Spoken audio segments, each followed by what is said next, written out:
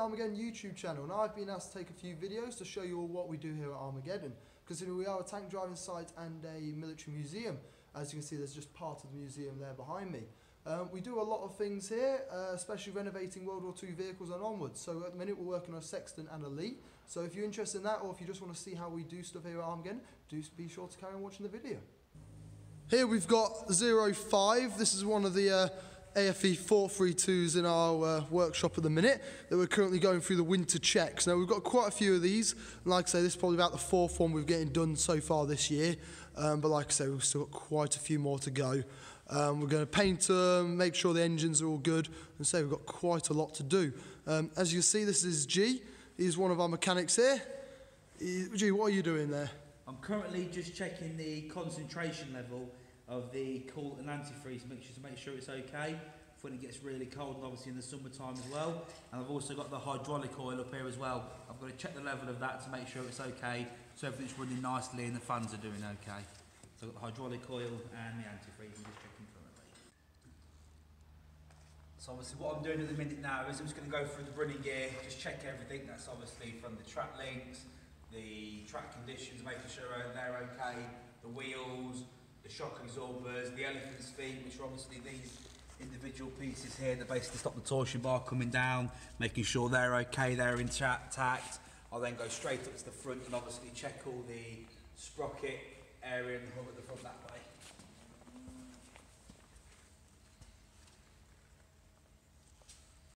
Louis is currently doing a bit more work on 05 here. As you can see, he's trying to change the sprocket. He's currently got the uh, track broken off, and now all he's got to do is disconnect that nut, and hopefully he should be able to get it off. Now we've already got this side off, this sprocket. As you can see, there's a new one on now, and there's the old one. And then if you come around here, here you'll see Louis currently trying to get this one off. You can see he's had to replace four track links, as you can see down there on the floor, and he'll hopefully be getting this off. As you can imagine, these are quite heavy. There we go, we managed to get that off. Being a two-man job, we had to stop filming for a second.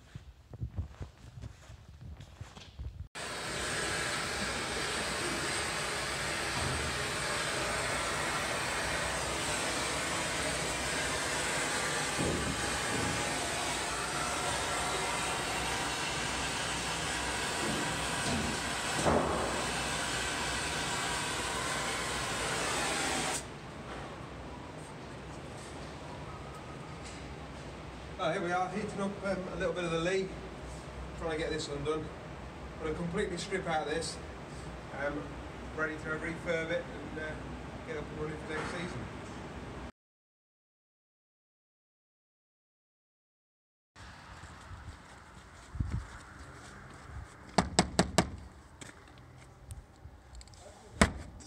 Are you stuck?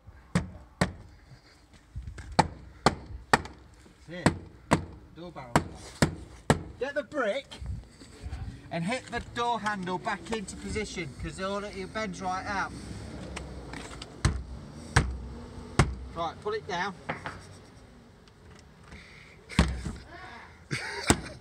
there you go. I know how to get out the skitter rider. Okay guys, so this is Tim. So Tim, tell us what you're doing and what it is and all that. This is the um, C1 radial engine that is to then go into the uh, Sexton when it's completed. We are now just cleaning up the rocker cover faces so we can refit the gaskets and then we'll do the further um, rebuilding of the magnetos, carburetors and hopefully then we should be able to dry run it out of the vehicle before we actually fit it. And we're hoping that that then will give us a good power pack, an original power pack as well, that fits in the vehicle and runs as it should. As you can see, we've got the Sexton self-propelled artillery gun behind me. Um, now this is R1. Uh, we've had it for quite a few years now, probably going about six years, but we haven't actually been able to spend too much time on it until the last couple months. Now, luckily, we've had the last few months since we've got our last few projects out of the way, so Nick and Tim have been able to work on it and get quite a bit more done. Um, as you can see, there's a few little bits and bobs being done there.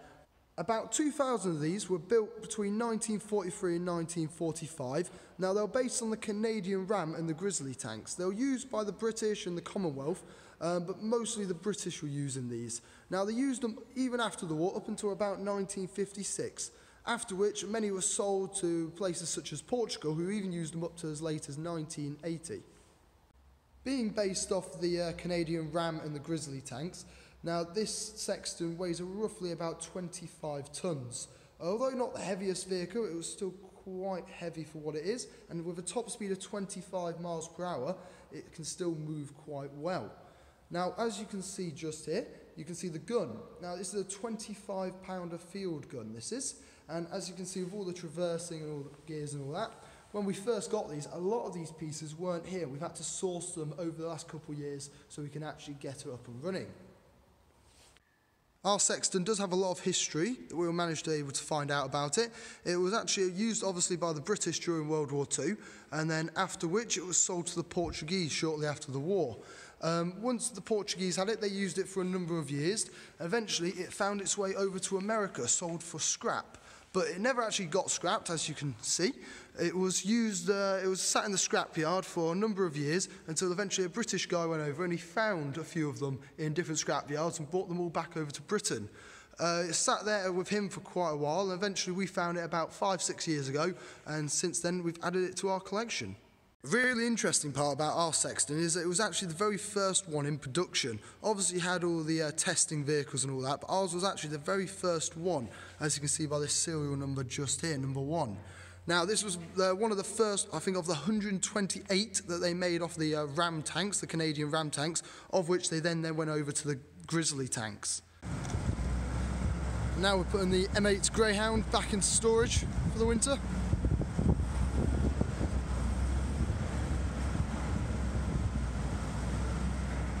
Bit of a tight fit, but she should make it.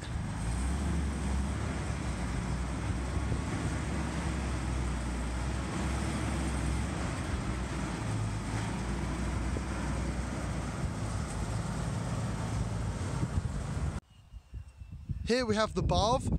Currently we've got one of our lads, Dean, he's inside. He's just getting rid of all the uh, rust and all the paint from the inside, which you can probably just about hear.